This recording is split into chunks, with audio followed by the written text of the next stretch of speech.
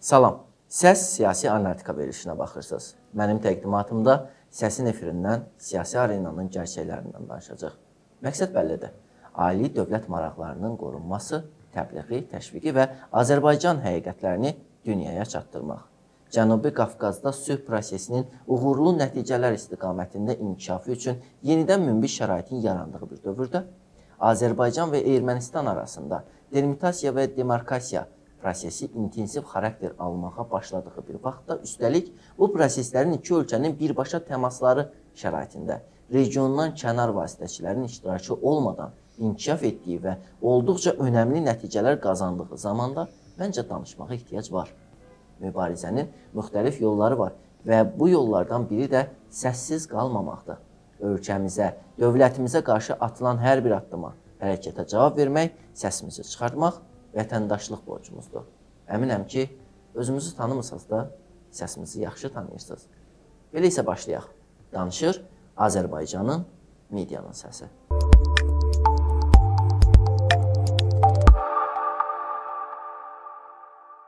Cənab Prezident İlham Əliyevin Şuşada keçirilən Xarı Bülbül festivalında verdiyi önəmli mesajlardan danışacağam.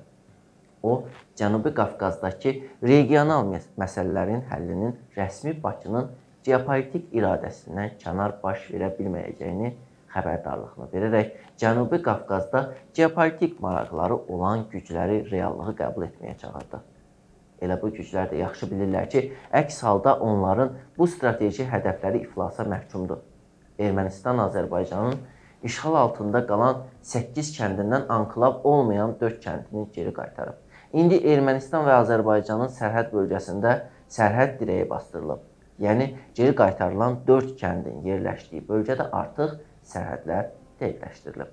Və bu keçmiş SSR-nin dağılması ilə başlayan müstəqillik dövründə ilk dəfədir ki, baş verir.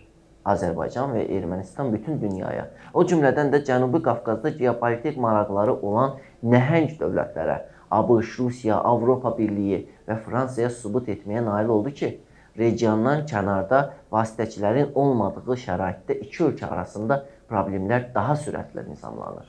Əslində bu məhz Azərbaycanın geopolitik uğurudur. Çünki rəsmi İrəvan bir mənalı şəkildə Ermənistanın beynəlxalq himayədarlarının sülh prosesinə vasitəçilik etməsinə israrlı mövqe tuturdu. Rəsmi Bakı isə bundan imtina eləyərək məhz ikitərəfli müzakirələrə üstünlük verirdi. Bu məsələdə Azərbaycan öz geopolitik iradəsini həm də Ermənistana, onun beynəlxalq himayədarlarına qəbul etdirməyə nail oldu və müsbət nəticə göz qabağındadır. İnkar edilməz bir reallıqdır. Və tarixi zəfər əldə etdik. Düşmənə öz yerini göstərdik və bu gün düşmən bizim qarşımızda acizdir. Bu gün təkcə bizim tələbimizlə heç bir başqa necə deyərlər, vasitəyə əl atmadan Qazağın 4 kəndi bizə qaytarılır. Bir tələbimlə qaytarılır. Bax, belə də olmalıdır. Bundan sonra belə də olacaq. Burada söz sahibi bizik. Qafqazda aparıcı dövlət bizik. İqtisadi, siyasi, hərbi, hər cəhətdən aparıcı dövlət bizik. Bizimlə hər kəs hesablaşmalıdır həm Ermənistan, həm onun arxasında duran, onlara yalançı vədlər verən xarici dairələr. Azərbaycan prezidenti İlham Əliyev prinsipial şəkildə bəyan etmişdi ki, sülh prosesində regiondan kənar vasitəçilərə qətiyyən ehtiyac yoxdur. Çünki kənar vasitəçilər Azərbaycan və Ermənistan arasında sülh prosesinə dəstək vermək əvəzinə daha çox öz geopolitik maraqlarını reallaşdırmağa çalışırdılar. Ona görə də kənar vasitəçilərin davranışları ucbatından sülh prosesində durğunluq yaranmışdı və hərbi siyasi gərginlik artaraq yeni savaş təhlükəsi ön plana keçirdi. Sülh prosesində müşahidə olunan müsbət irəliləyiş prezident İlham Əliyevin tamamilə haqlı olduğunu birmənalı şəkildə təsdiqlədi. Əslində, hazırda Azərbaycan və Ermənistan sərhədlərində bastırılan hər bir sərhəd dirəyi indi ABŞ, Avropa Birliyi, Rusiya və Fransanın Cənubi Qafqazdakı geopolitik maraqları qarşısında çəkilmiş bir səd rolunu oynayır və onların başına dəyən dəmir güclü yumruğa bənzəyir. Bu səbəbdən də Azərbaycan və Ermənistan arasında delimitasiya prosesindən həmin beynəlxalq güclərin məmnun qalmaması qətiyyən təəccüblü deyil və hər bir sərhəd dirəyinin onların geopolitik maraqlarına ağır zərbə olduğu danılmaz bir faktdır. Azərbaycan öz xarici siyasətini peşəkar idarə etməkdə davam edir. Bu uğurlu siyasətin başında duran məsələlərdən biri də, bəlkə elə birincisi də sülhməranların vaxtından əvvəl Azərbaycan torpaqlarını tərk etmələri idi. May ayının 15-də Xocalı hava limanında Rusiya Federasiyası sülhməramlıları kontingentinin missiyasının başa çatmasına həsr olunmuş təntənəli mərasimi hamımız izlədik. Bütün dünya, o cümlədən də anti-Azərbaycan qüvvələri də izlədi. Daha Azərbaycana təzyiq metodu vasitəsi bəhanələri tükənib. Bəli, Rusiya hərbi kontingenti Xocalıdan bir dəfəlik getdilər. Heç şübhəsiz ki, özləri yox, onları yola salan Azərbaycan dövlətinin qətiyyəti, prinsipial mövqeyi, həmçinin də iki tərəfli münasibətlərə, əlaqələrə imzasına sadiqliyi idi. Bir çoxlarının Rus ordusu girdiyi ölkədən çıxmır uzaq görənliyi özünü doğrultmadı. Azərbaycan daha bir nümunə ortaya qoydu. Özü də belə yola salmalar nadir hallarda olur. Heç bir gərginlik yaşanmadan, qarşılıqlı hörmət əsnasında bir-birinə uğurlar arzulayaraq Xocalı hava limanında keçirilən tədbirdə Azərbaycan Respublikası Müdafiə Nazirliyinin, eləcə də Rusiya Federasiyasının Müdafiə Nazirliyinin sülhməramlı kontingentinin Azərbaycan Respublikasında səfirliyinin rəsmi nümayəndələri, hərbi qulluqçular və media nümayəndələri iştirak etdilər. Həlak olan hərbi qulluqçuların xatirəsi bir dəqiqəlik sükutla yad olundu.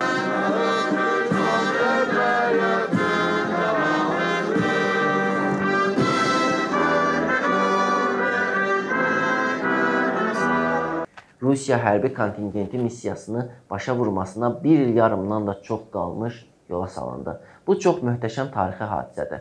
Prezident İlham Əliyevlə Prezident Vladimir Putin arasında yüksək səviyyədə qarşılıqlı etimadın heç şübhəsiz ki, burada mühüm rolu var. Eyni zamanda Rusiya liderləri də bilir ki, İlham Əliyev imzasına sadiq olmaqla yanaşı mövqeyində də prinsipialdır və zamanında Azərbaycanın maraqlarının təmin olunması istiqamətində addım atmaq elə Rusiyanın reputasiyası üçün də vacibdir. Rusiya hərbi kontingentinin çıxarılması Azərbaycanın Rusiya münasibətlərinə mənfi təsir göstərməyəcək. Əksinə, iki ölkənin münasibətləri daha da irəliyə gedəcək. Çünki həm liderlər, həm də dövlətlər arasında qarşılıqlı etimad var. Rusiya hərbi kontingentinin yola salınması prosesində Azərbaycanın zəruri texnika və logistik dəstək göstərməsi də diqqət çəkən məqamlardandır. Bu qarşılıqlı etimadın növbəti nümunəsidir ki, bu yola salma çıxın gedin ritorikasında deyildir və nümayiş etdirilən diplomatik bacarığın məntiqi nəticəsi idi kontingentin vaxtından tez geri qayıtması. Azərbaycan son illərdə bir neçə dəfə bir çox mərkəzlərin planlarını pozmağa nail olaraq növbədənkənar prezident və parlament seçkilərini keçirib. Növbətisi də gözlənilir. Bu dəfə dövlətimizin hərbi kontingentin növbədənkənar il yarım əvvəl suveren ərazilərimizdən çıxarmağa nail oldu. Necə deyərlər, həm də məxməri şəkildə. Heç şübhəsiz ki, asan olmadı. Bu nəticələri əldə olunmasına dək çox uzun və mürəkkəb hadisələrlə dolu yol qət edildi. Azərbaycan və Rusiyanın münasibətlərini pozmağa çalışan o qədər mərkəzlər, qüvvələr oldu ki, hətta Rusiyada belə Putinin beynəlxalq hüquqa görə Qarabağ Azərbaycanın ayrılmaz tərkib hissəsidir mövqeyinə qarşı çıxan dairələr, şəxslər oldu. Rusiya hərbi kontingentinin ayrı-ayrı komandanlarının Rüstəm Muradovun baş separatçı Arayek Artunyanla dostluğunu da unutmadıq. Azərbaycanın heysiyyəti ilə oynaması Rusiya sülhməramlılarının Qarabağdakı erməni hərbi qüvvələrinin silah və hərbi texnikasını müşayiət etməsinə, Qarabağdakı milli toponimlərimizə sayğısız yanaşmalarına və bu kimi çoxsaylı cinayətlərə müşahidəçi qalmalarına dəfələrlə rəsmi və qeyri-rəsmi səviyyədə etirazlar oldu. Elə onlar da bir şeyi unutmasınlar ki, Azərbaycan dövləti şəxsən İlham Əliyev heç nəyi unutmur. Hər bir məsələni işin nə qədər çox olmasına baxmayaraq ayrı-ayrılıqda diqqətdə saxlayır. Beləcə, Qərbdəki ayrı-ayrı dairələrin, həmçinin ermənipərəst qüvvələrdən maliyyə almaq hesabına Azərbaycana qarşı fəaliyyət göstərən şəxslərin daha bir iddiası aradan qalxdı. Rusiya sülh məramları əbədi Azərbaycan ərazisində qalacağını, hətta gələcəkdə baza şəklində mövcud olacağını deyənlər də yanıldılar. Bu iddiaların müəllifləri heç olmasa qələbə reyesi belə xatırlamaq istəmədilər. 2013-cü ildə Azərbaycan dövləti Rusiya üçün mühüm əhəmiyyət kəsb edən bu obyektə nəzarəti öz əlinə aldı və 1984-cü ildə SSR-nin raket əleyhinə müdafiə sistemi kimi inşa edilmiş Qəbələ reysi Hind okeanı regionunda 6 kilometrlik radius raketlərinin buraxılışını izləməyə imkan verirdi. Amma nə olsun? Prezident İlham Əliyev 10 noyabr 2020-ci il tarixində xalqa müraciətində dediklərini xatırlatmağıma da ehtiyac var. Bu bəyanat bizim şanlı qələbəmizdir. Və şadam ki, bugün bu müjdəni Azərbaycan xalqına verirəm. Hesab edirəm ki, bu bəyanatın imzalanmasının səbəblərindən biri də dünən qeyd etdiyimiz parlaq qələbəmizdir, tarixi qələbəmizdir. Şuşanın işğaldan azad edilməsidir. Şuşa Qarabağın tacıdır. Şuşanın azad edilməsi həm böyük siyasi, həm böyük strateji, eyni zamanda çox böyük mənəvi məna daşıyır. Biz Şuşaya qayıtdıq. Biz Şuşanı qaytardıq. Biz Şuşada yaşayacağıq. Və bütün digər işğaldan azad edilmiş torpaqlarda həyat qaynayacaq. İnsanlar o torpaqlara qayıdacaq, orada yaşayacaq. İnsanlarımızın 30 illik həsrətinə son qoyulur. Hesab edirəm ki, e,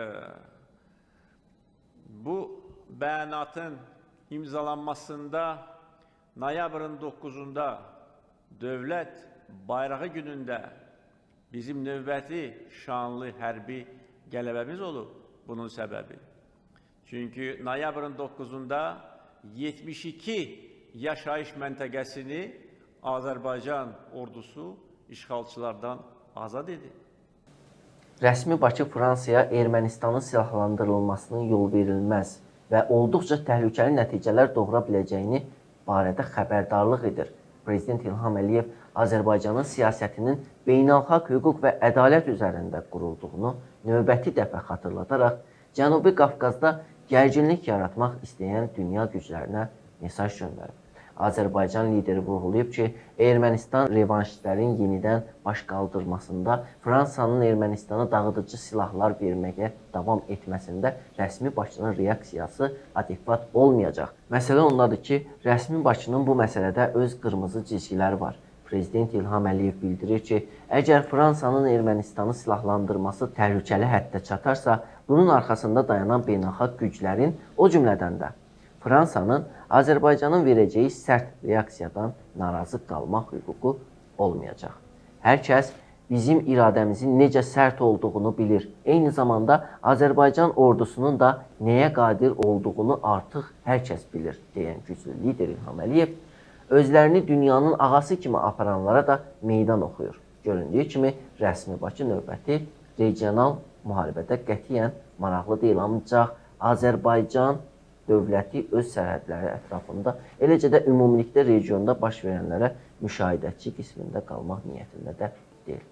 Əgər Azərbaycanın milli təhlükəsizlik maraqlarına hər hansısa təhdid yaranarsa, rəsmi Bakı ən sərt addımların atılmasında qətiyyən geri çəkilməyəcək və bu Ermənistanın himayədarlıq etməklə Cənubi Qafqazda öz geopolitik maraqlarını reallaşdırmağa cəhd göstərən dünya gücləri üçün olduqca önəmli bir mesajdır. İndi bizə güya ağıllarınca demokratiya dərsi keçməyə çalışan üzdə demokratik dövlətlərin də bütün dünyanın önündə diktatorluğu ifşa olunur. Ölkəmizə müxtəlif təxribatları, təxribat xarakterli addımları atmaq istəsələr də bacarmayan bu şəxs yaxud şəxsiyyətsizlər Azərbaycanın möhtəşəm dayanıqlı xarici siyasəti olduğu kimi daxili siyasəti və dövlət təhlükəsizlik sistemində də necə peşəkar olduğunu unudurlar dünyaya sözdə ədalət, demokratiya, azadlıq, müstəqillik və s. dərsləri keçməyə çalışan Fransa həm də keçmiş tarixində bugünkü davranışlarında da nə qədər qeyri-səmimi və riyakar siyasət yürütdüyünü dəfələrlə sübut edib. Bu gün Parisdən 17 min kilometr uzaqda yerləşən 1853-cü ildə müstəmləkə altına aldığı Yeni Kaledoniyada törətdiyi hərbi cinayətlər də bunun növbəti bir nümunəsidir. Xatırlatmaq lazımdırsa, bu kimi nümunələr yüzlərləndir. Belə işğalçıların Azərbaycanı öz doğma torpaqlarına qayıtdığı üçün təzyiq etməsi isə ən yumşaq dillə desəm, özünü güldürtmək, rüsvay, biabır eləməkdir. Ki, Sovet dövründə ermənipərəz Qarbaçov və ondan sonra Yeltsin ermənilərə vəd vermişlər bu torpaqları. Və Fransada, Amerikada həmçinin. Bugün də bizə qarşı baxın kimlər əsas, necə deyərlər, rol oynayır. Fransa və Amerika. Açıq demək lazımdır bunu. Daha çox Fransa. Və onlar da bilməlidirlər ki, bizim iradəmizin kənarında bu bölgədə heç bir məsələ həll olunası deyil. Hansısa səfirin Şuşaya gəlməsi bizə minnət kimi təqdim edilməməlidir. Gəlir, gəlsin, gəlmir, heç lazım da deyil. Güya onların gəlib gəlməməklə nəsə dəyişir? Heç də dəyişmir. Burada, torpaqda söz sahibi bizik, bizim də siyasətimiz beynəlxalq hüquqa və ədalətə əsaslanır. Və əgər bugün yenə də görsək ki, Ermənistanda revanşistlər baş qaldırır, Fransa Ermənistana öldürücü silahlar verir, o silahların kritik həddə çatmasını görsək, onda bizdən heç kim inciməsin.